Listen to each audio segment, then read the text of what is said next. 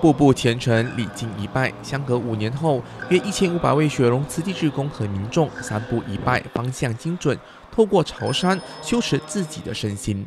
这次我是第一次朝山啊，当龙头啊，当然多多少少有点压力啊，有时会有点分心，差一点点就会啊，这样慢了步骤啊，步骤不一样，你就后面就乱了。所以说我们要虔诚就很很专心咯。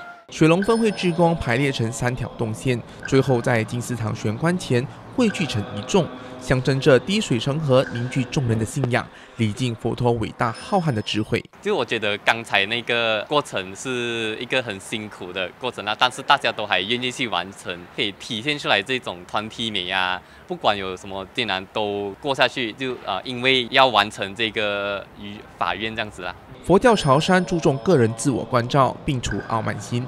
培养内在的品德，锻炼对佛法虔诚的信仰。今天当我跪下来在地上的时候，我身体哦其实是贴在地面啊，好像彻底的放下一切。我觉得一切都是带不走啊，就好像在佛经里面有讲，万般带不去，唯有业水深。朝山朝到我们差不多要到同门前的时候，看到那个太阳升起的时候，所以呢，感觉那一刹那真的是感觉到师傅是在我们身边了。佛教徒朝山，以身体作为修行的道场。